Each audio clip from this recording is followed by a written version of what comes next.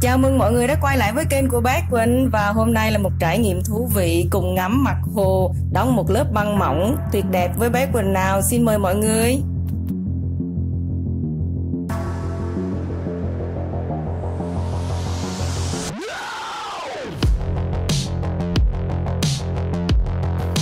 Mọi người ơi lớp băng đóng rất là đẹp đúng không mọi người?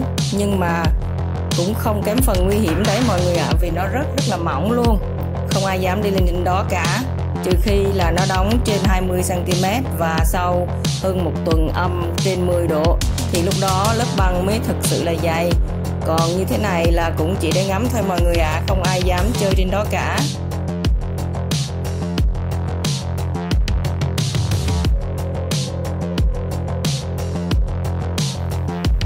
Mọi người ơi, cảnh rất đẹp đúng không ạ? À?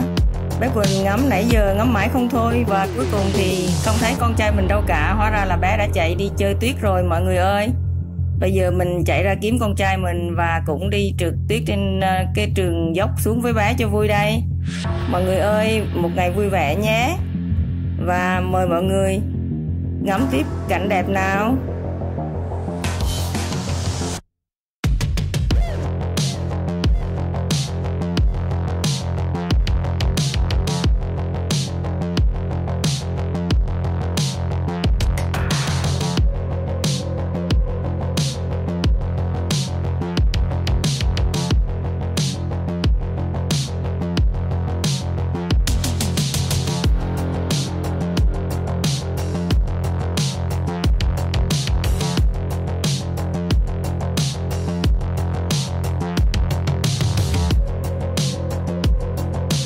Mọi người ơi hôm nay mình chỉ quay lại một khoảnh khắc ngắn đẹp như vậy cho mọi người chiêm ngưỡng thôi. À, lần sau mình sẽ quay dài hơn. Và bây giờ xin chào tạm biệt mọi người. Hẹn vào những clip sau nhé. Bye bye.